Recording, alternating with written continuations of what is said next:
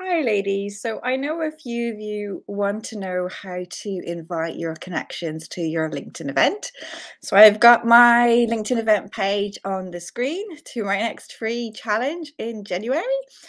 And if you scroll down, you can see the invite button here.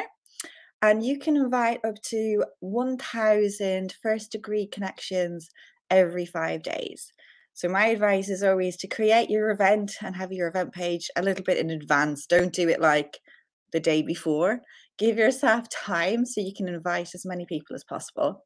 So you click on invite and you can see you can manually type in the top people's names. I'm going to type in my good pal Wesley, who's in the group with me. And I'm just going to quickly invite her just for the sake of test. So you can do it manually like that.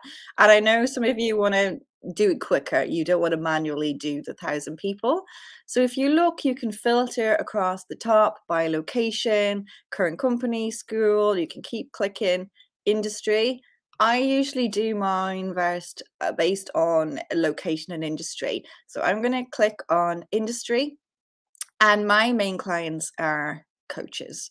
So for me, professional training and coaching is a great one. So I'm going to tick in there, show results, and all of my coaching uh, contacts should come up for some reason i'm seeing a lot of people who are not coaches um so it's always good to review because people might be more on the training side than the coaching side so you can tick them you can see one by one going down here which is a bit boring, a bit manual.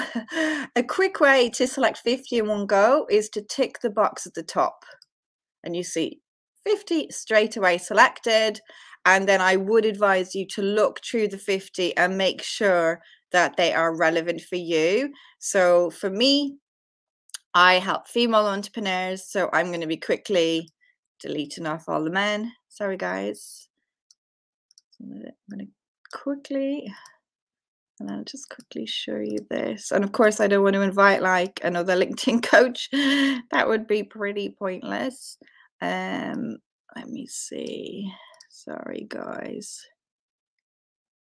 Just want to make sure I'm inviting the right people.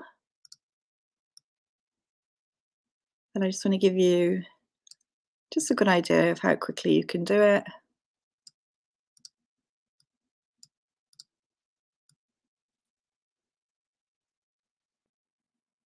Okay, so that's 40. So I'm just going to go invite, okay? And 40 of them have been invited. So you can see by filtering and doing 50, 50, 50, 50, you only have to do that 20 times and you'll have your 1,000 connections invited. And then you'll get a renewed credit after the five days and you can do it all again. So I hope that has helped you. Um, I think it's pretty straightforward. Use your filters you know if you're only doing a, a, local event obviously use the location it's going to be super important. If you're targeting people at a certain company use that filter.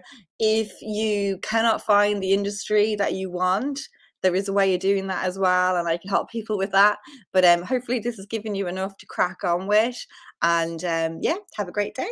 So i'm just going to stop this and best of luck with your event and hope it goes well for you